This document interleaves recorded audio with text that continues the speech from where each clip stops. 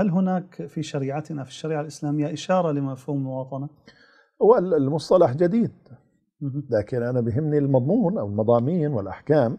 قطعا أخي الكريم هذه الأحكام موجودة وربما النبي عليه الصلاة والسلام عندما أسس دولته الأولى ووضع الدستور الأول لهذه الدولة وفيها مسلمين وهؤلاء المسلمون طبعا فيهم المهاجرون والأنصار وفيها غير المسلمين قبائل اليهودية التي كانت تقيم في المدينة قبل أن يأتي الإسلام وقبل أن يأتي النبي صلى الله عليه وسلم. وفيها طبعا ممن بقي على الشرك ولو إلى حين كل هؤلاء كانوا في المدينة فجاء النبي صلى الله عليه وسلم ووضع النظام والدستور الذي يضبط العلاقة بين كل هؤلاء في ظل هذه المدينة أو في ظل هذه الدولة. طبعا بعد ذلك اتسعت الدولة الإسلامية وكانت الفتوحات ودخل في ظل وفي رعاية هذه الدولة آه، أبناء الأديان الأخرى أبناء البلاد المفتوحة.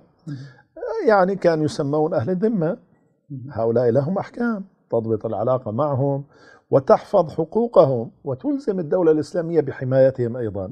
كل هذا أخي الكريم يؤسس عندنا لما يسمى الآن حق المواطنة أو حقوق الآخرين في ظل الدولة الإسلامية.